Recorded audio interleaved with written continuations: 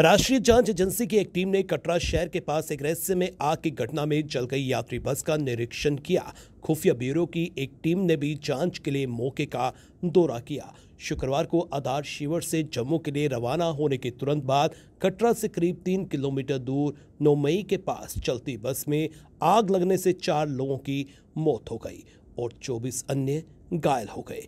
हालाँकि जीवित बचे लोगों और घटना के आसपास रहने वाले लोगों ने बस में विस्फोट की आवाज़ सुनने की बात कही थी, लेकिन जम्मू क्षेत्र के अतिरिक्त पुलिस महानिदेशक मुकेश सिंह ने घटनास्थल का निरीक्षण किया और कहा कि शुरुआती जाँच इस बात की ओर इशारा नहीं करती है कि किसी भी विस्फोटक का उपयोग किया गया हो।